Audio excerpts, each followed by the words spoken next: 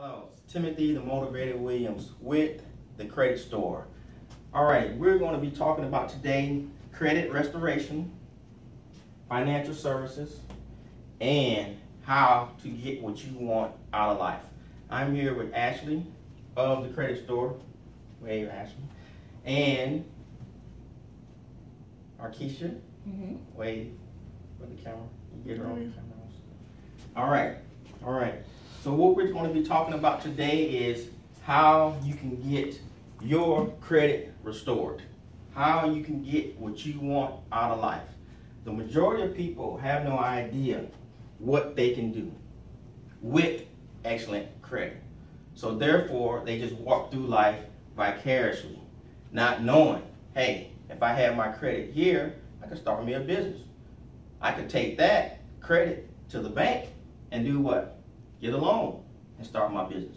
But here's the problem with that. Most people don't know when you get your credit restored, there, there's a mindset that you need to have. Because if you don't have that mindset, what will happen is you'll get your credit restored, and guess what? You'll go out there and buy everything under the sun. Because I've done it. At one point I had nine credit cards, maxed all of them out. Mm. And guess what? Credit score went down. Why? Because I did not have the right credit, education, and the right financial education. The majority of the people don't because schools do not teach us what we need to know in life, in the real world, as far as credit, how money works, financial education. Now, let me ask you a question, Ashley. How long would it take you to save a million dollars? Take a while. Month, a couple of two, three months. I wish I could say two or three months. Okay, just give me a number. How long would it take you to save? Um, I would say, I mean, of course, I have to be very diligent, cut a lot of things out. Um, I would say probably, um, maybe three to five years. Three to five years. Three to five years to save one million dollars. All right, spit. All right. Now, let me ask you another question. How long do you think it would take you to borrow a million dollars? Less than a year. less than a year. Now, most people don't know this. With the right financial papers, you can borrow a million dollars 15 minutes. Where the papers at? Say it again. Say it again. Where the papers at? Where the papers at? That's exactly what I want to do. Because this is what you're going to learn here. How you can walk in the bank and borrow a million dollars. Because it is just that easy. With the right credit, the right business credit, the right P&L statements, the right financial papers, you can walk in there and do it. It's that easy. But a lot of people know what they think? It's easier to go do what? Play what? The ladder. Ladder. The lottery. But you have one in probably 99 billion of a chance of hitting the lottery of 400 million dollars. And then actually, a lot of people don't know this. That's the worst way to get money, to inherit it, because you didn't earn it. So what's going to happen is you just gonna blow it. Most people hit the lottery end up being broke because they don't have financial education. They don't understand how money works, and they just you know, taxes hit, then an emergency, and they just. So the goal is not to get into saving, because what we're going to be talking about is investing. Now, I wrote a book, which will be out soon. It's called How to Sell Yourself and Become Rich. The subtitles Selling Yourself is the best sale you ever make, Investing in yourself is the best investment you'll ever make. This is what you want to invest in first.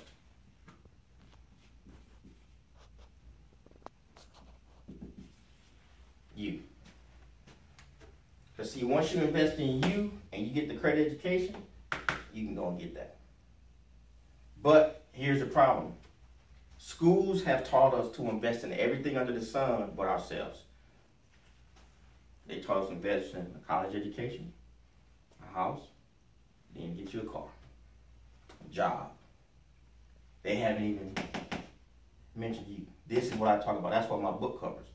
Because what happened to me was when I lived in Atlanta, even before I wrote the book, I had two millionaires that mentored me. And what they did was they found out I was like a sponge. And I wanted to know how you do this. Because I had been reading this, but reading it is not enough. I need, because like you go to school, they give you a book, but they teach you. They don't just give you a book. So I, even though I was reading books, I needed to understand what I was reading. What I was reading. And so what they did was pretty much broke down to me. Okay, this is how you get here. This is what you want to. You know, they tell me things like corporate America is a legal pyramid. I had never heard that before. Mm-hmm. This was in 2004, 2005. I'm like, what are you talking about? But it was they were saying what I had heard before, but they were saying it in a different way. And then they gave me what's called a millionaire's mindset, how millionaires think. And they told me millionaires don't think about getting some money and buying a car, brand new car. They don't think like that. Mm-hmm. You know what I'm saying? They think about buying a house and having that house be an investment, pay for the car. So if I buy a house, I rent it out, those payments I get pay for the car. So if I lose my job, I'm still good. I go find another job, but I don't get behind on it. And this is what we need to know right now in the economy that we're living in is financial education. That's what we need in this new economy. Because right now, this is what most people are doing. They're saving. But here's the problem with saving. There's actually a formula from that.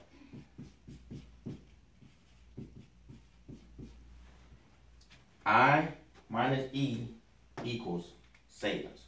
Now what this is here is income. That E represents expenses. So there's an actual formula that most people live by. Income, which is your check. Most people working nine to five, they get a check. Whatever they get every Friday, they take some money out and pay their bills. The rest of it, they save. Here's the problem. After they pay their bills, there's nothing left over. Most people are living paycheck to paycheck, hand them out. So what you want to do is what? You don't want to pull back because that's what most people's first instinct is. But timidity is not a characteristic for success. So you don't want to pull back. What you want to do is you want to increase your means. You don't want to go, oh man, I got to start saving. I got to start pulling back. No, no, no, no. That pulling back is not going to make you go out there and buy these houses to get what you want. You see what I'm saying? So another thing you don't want to look at is saving a dollar that's going to depreciate every time you turn around It's not good. So what you want to do is take that money and invest it. But here's the problem. A lot of people invest in things and don't really know what they're doing. They invest in, I'm going to get into real estate. I'm going to get in this. I'm going to get into that. But here's the problem with that. They don't have the right financial education to do it. There are a few things you're going to need to be successful. You're going to need financial education, credit education, and sales. There are so many people that don't know how to sell and don't know they're in sales. But yet still, whatever they're doing is an exchange of money. Everything is selling. Everything. No matter what you're doing, you're selling something. You're either selling a service, an opportunity, something tangible, intangible, or you're selling an idea. Everything is selling. If you are a massage therapist, that's what you're selling. But most people don't know how to sell it. So what I teach you first is, like my book says, is how to sell you on you. How to take that money you get and invest it in you. Because what we do is we take our check and we pay everybody except us.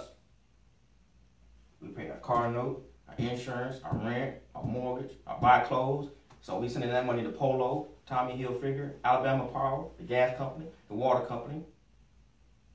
Everybody getting your lawn fixed. So what you want to do is like Robert Kiyosaki said, you want to pay yourself first. And see, most people they think that saving is paying themselves first, but actually you don't get that money doesn't accumulate. A lot of people don't know you actually get taxed on that if you just if you want to keep saving. So what you want to do is find out, okay, I want to invest in me. How do I do that? What do I do? Well, one of the first things you can do is your credit. And when I teach in one of my workshops, how to align your personality with your passion and prosper, one of my topics is being brutally honest with yourself. You got to ask yourself, where am I at?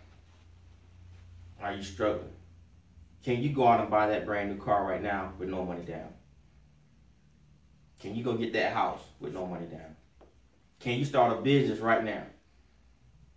If it costs fifty thousand to start that business. The majority of people say no. That's the majority of people. And that's why I'm here. Is because my goal is to educate everybody that's within the ear of hearing what I'm saying. Because I used to be like that, struggling. And I know how it is. And I had a lot of friends that told me, hey man, I'm tired of working on this job.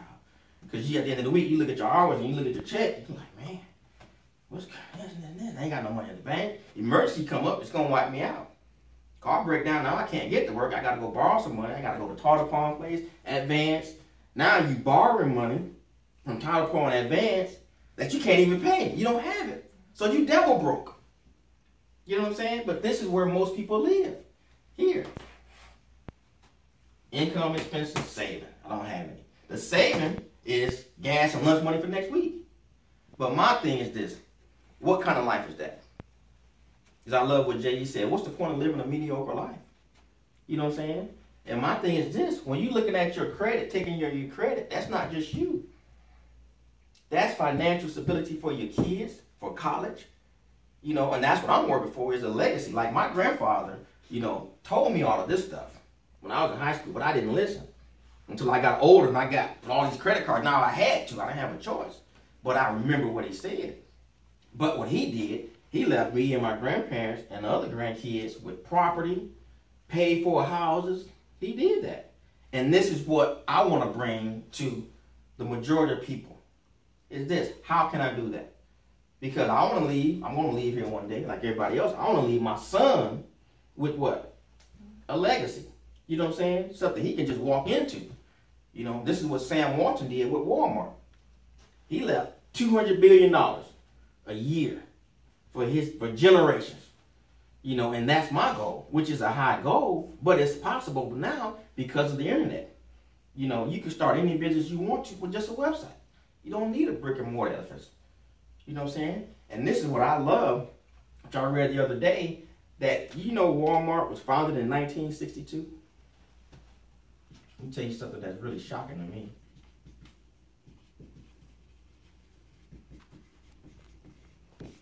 You know, Facebook was founded in 2004.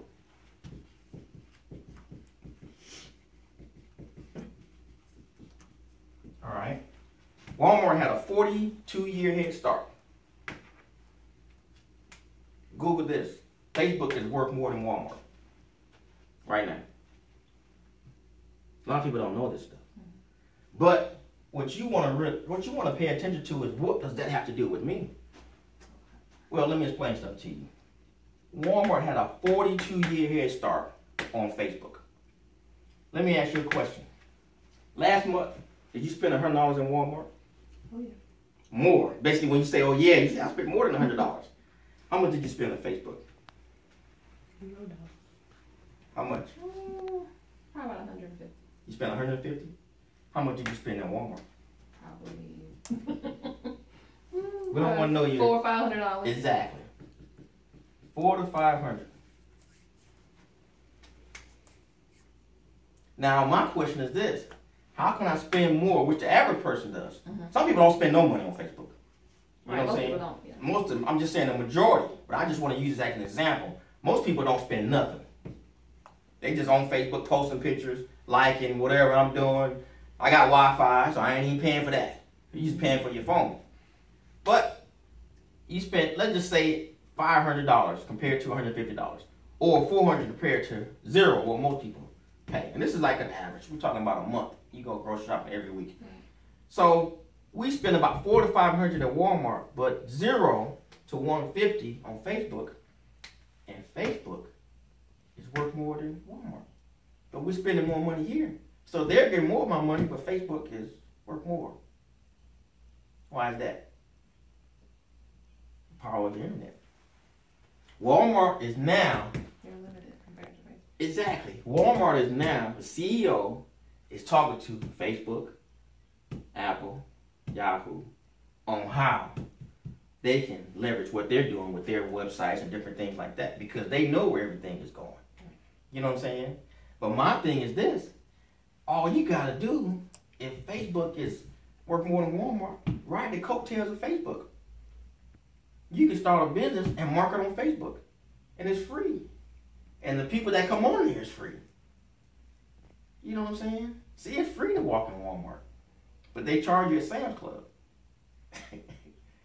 right? Sam's Club is part of Walmart, but Facebook is bigger than both of them. And most people don't know how powerful that is. And what it is is this we're in the digital age right now, the technological age. Technology is moving so fast, we can't keep up with it. You know, it's like when I bought my phone, my son said, You know, the I bought the Note 4. It's like, You know, the Note 5 is coming out next month. I'm like, You know what I'm saying? It took me forever to, you know, get this one. But I'm not going to chase the phones. But most people do. But what I'm saying is this if you get into the internet, the power of it and what it can do for you, you can start you a business with your credit, and guess what? You don't have to pay for a building if you don't want to. You can start you a business, get you a website, and start making money even while you're on the job. But most people don't know how to do that. But I teach it. It's easy for me because I just study it all day, every day. You know what I'm saying?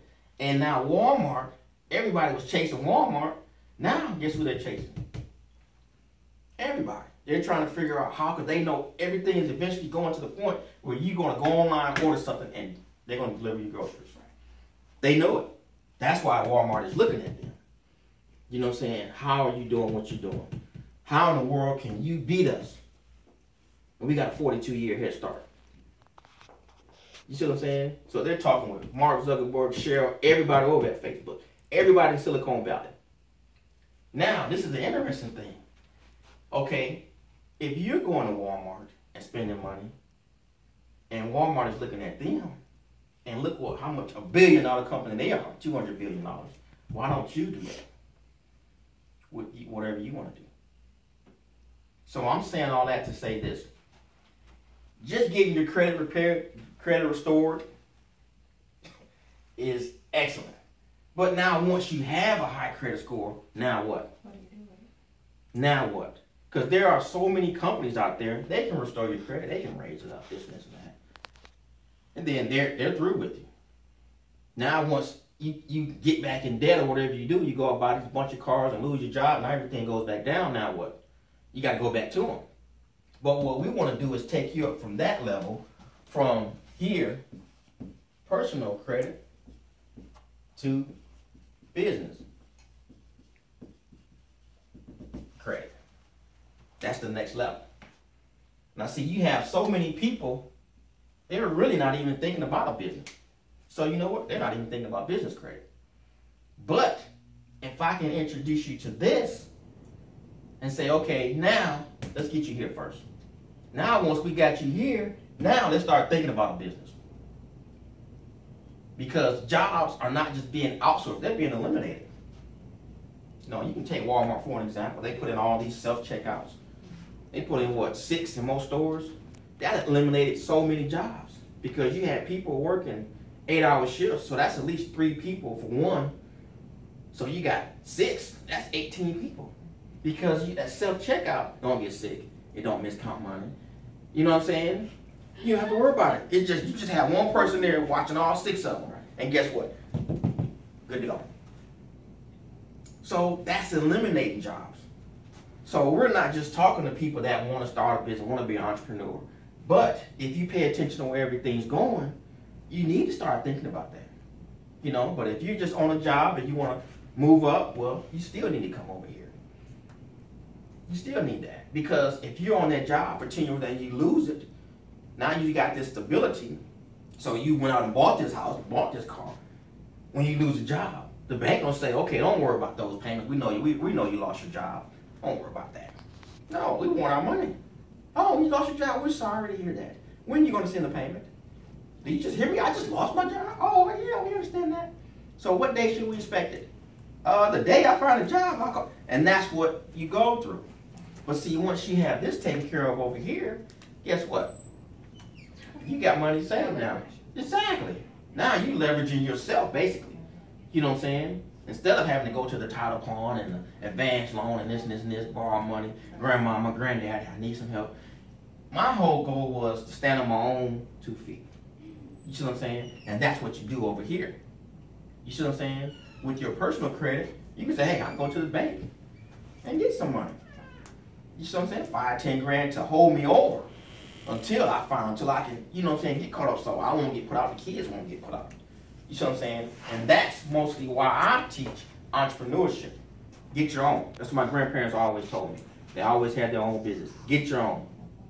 And if you don't have this, which they kept excellent credit, personal credit up to par, it's gonna be very difficult to do it. Not saying you can't, you can, but now you just gotta go and save it. You gotta go in your pocket. My grandfather always told me I'd rather use somebody else's money rather than use my own. And this is what we're gonna be talking about when we're talking about financial services. And not just that, but also the mindset of what you need to have in order to get it and keep it. Because it's easy to get it. It's easy. There's plenty of places that you can do that, that you can go to. But our goal is to get you to get it, and then now how do I keep it, and then also get business credit. You see what I'm saying? Because a lot of people don't know if you have personal credit that's excellent, you can get one car. If you have excellent business credit, you can get 10. A lot of people don't know that. Because I used to talk to people about it. You know what, man, you can? Yeah. Now that's that's triggering them to thinking about okay, a business. Cause see, I gotta get you thinking about a business before I get you thinking about business credit. You know what I'm saying? Now what you have to figure out is what type of business. Well, what I tell people is you gotta find your why.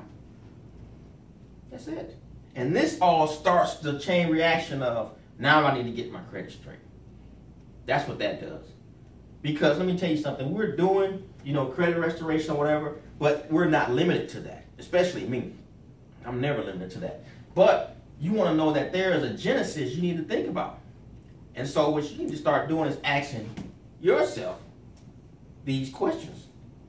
What do I want to do? What would I want to do? Do I want to stay on this job from now on? I'm gonna tell you something that's super powerful. A lot of people don't know this.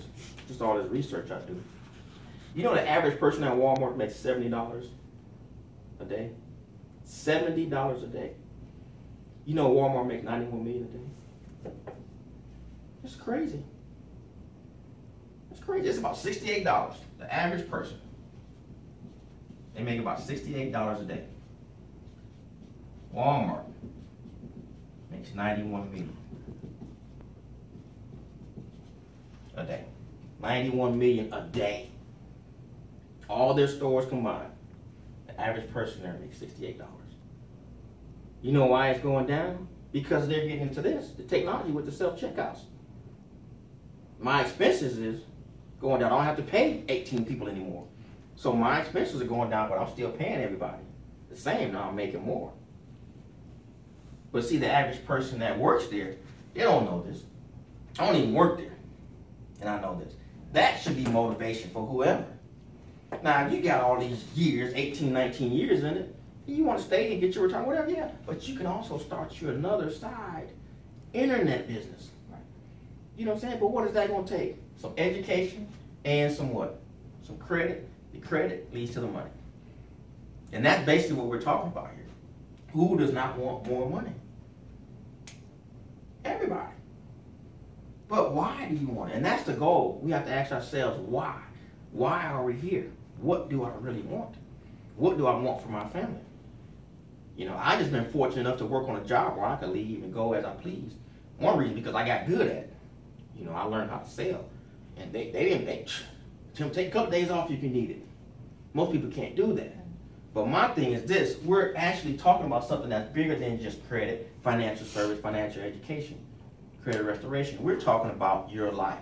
We're talking about how good would it feel if your child every month had to go to a field trip and you could go. Well, if you got your own you can do what you want. My grandparents always did. You know what I'm saying? You can do what you want. But the problem is, how do we do that? Because you got to think about this. You know, your kid is growing up, they're never going to be five again, six again, seven again. That's the way I look at it. You know what I'm saying? With my job, I tell you, hey, I'm leaving. My son got this. I got to go to this or this football game. We're going out of town. You know, I had a guy in uh, 2012. I told him when I was doing something, in this, this, he said, Tim, I wish I could do that. He said, man, my daughter is getting married in Birmingham. He said, you know, I can't go. I said, why? He said, man, you know, I work at the water company. And then at night, I work, I got this janitorial thing I'm doing. Mm-hmm. He said, so I'm, I'm like, man, you gotta, you gotta go. You gotta walk your daughter down the aisle. He said, man, I can't go. And see, things like that is what made me study and research all of this. Mm-hmm. To get people motivated to say, hey, man, you don't have to do that. Let me show you a different way. Not necessarily better, but a different way. And that's what this is. That's what we're going to be doing. That's what we're going to be talking about. You know what I'm saying? That's what we're going to be talking about here at the credit store. Not just personal credit, business credit, financial, taxes, entrepreneurship. We're going to be talking about what is your why. You know, just like this workshop says. How to align your personality with your passion and prosper. That's what you got to find out. What is my passion? Mine is helping. That's what I love to do. Helping and speaking. Like right here, that's what I love to do. I do it on the job. I'm supposed to be doing something else. I'm on the job doing this. Just like the same exact thing what I'm talking about. So I walked into it. I'm one of the lucky people. But I also teach you how to find your why. You know, if this is it, go for it. You know what I'm saying? Because this what's going on right now is so crazy. All the shootings or whatever. No, nothing's promised. Tomorrow's not promised. You know what I'm saying? So my thing is if I'm gonna leave, I'm gonna leave my son here with something. Hopefully I don't get pulled over by the police. You know what I'm saying? What's going on right now? But these are things that we think about in the back of our mind, but we don't take action on them. And that's what we have to do. You know what I'm saying? All right. This is going to be our segment for today. Tune in.